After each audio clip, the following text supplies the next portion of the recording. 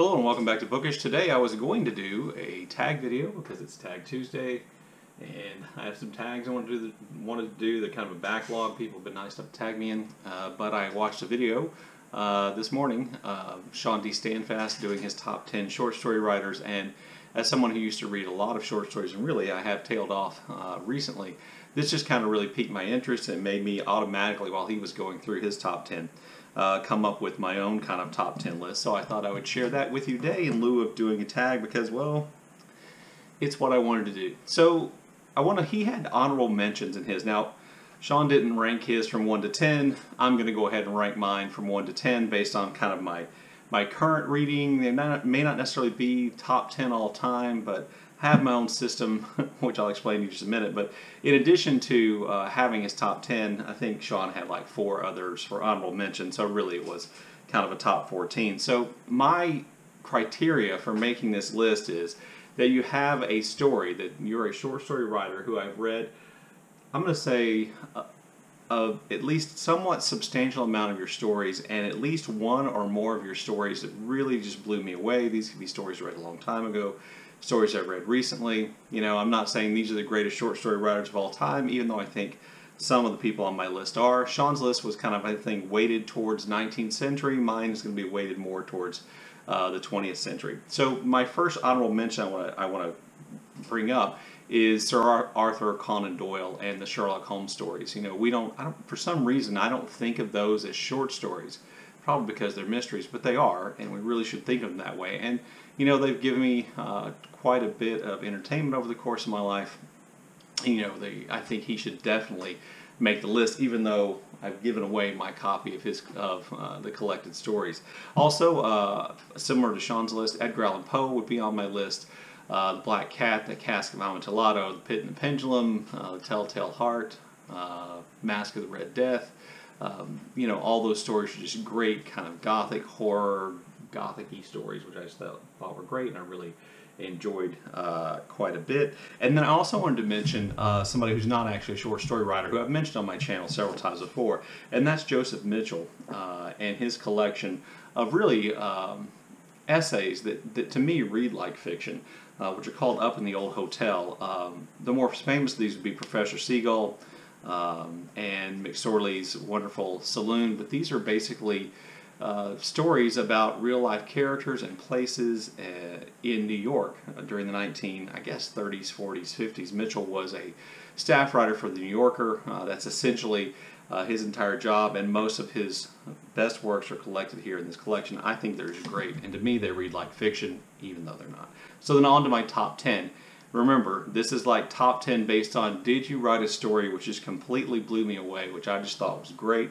Um, and you know is there more than one and that's kind of what ranking is so my number 10 ranking i put uh, bryan washington whose short story collection lot contains easily the best short story i think i've read uh, in recent memory and that story is called Alief. If you don't know, uh, Lot's collection of stories is set in Houston, uh, near where I live and they kind of deal with different neighborhoods and locations in Houston. There is some of the stories uh, follow the same characters and there's a theme to them. Some of the stories are not. Alief is not one of the stories that follows the main characters.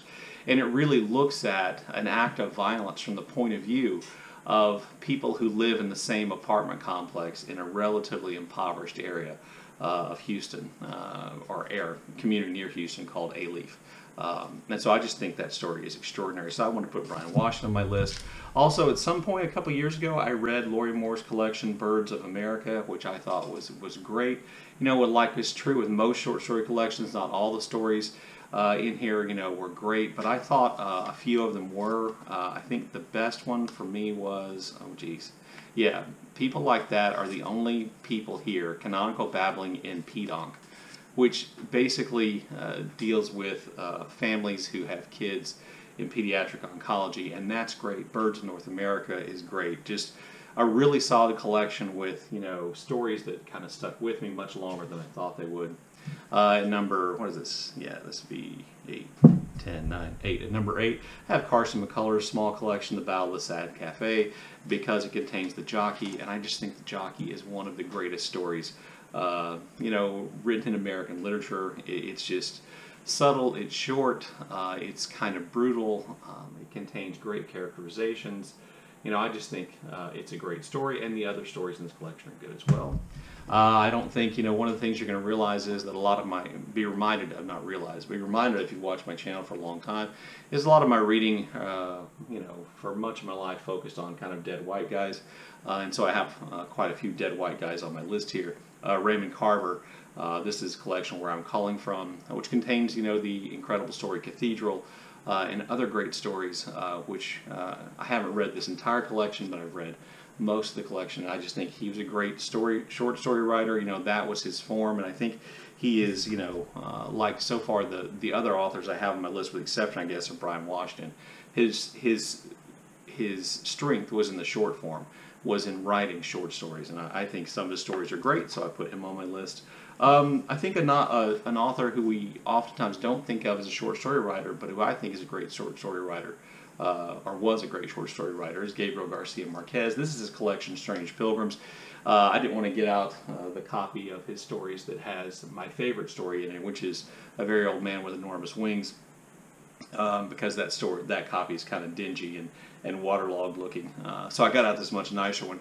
Uh, Garcia Marquez was a great short story writer. I think this has something to do with the fact that he began his writing career as a journalist and he had uh, developed a real kind of talent and skill for kind of condensing emotionally powerful stories into um, short spaces. Uh, most of Garcia Marquez's stories are I think uh, have a lot of symbolism, a lot of characters who represent things. I would say, and I've mentioned this many times before about Garcia Marquez, Marquez oftentimes chooses to use children as symbols of innocence and innocence ruined, and so there are oftentimes very disturbing things that are happening to children in his stories.